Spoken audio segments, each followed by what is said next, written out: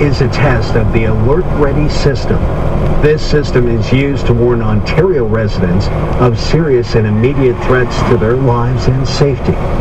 In case of an actual emergency, we will use this system to share valuable information about what the threat is, where it is happening, and what you can do to protect yourselves and your families from that threat.